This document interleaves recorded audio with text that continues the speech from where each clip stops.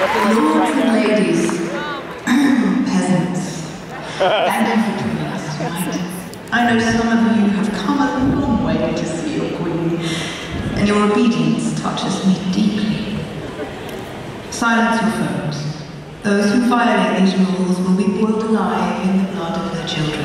I do not enjoy the show. And if you should see me afterwards, do not approach. I find contact my subjects extremely.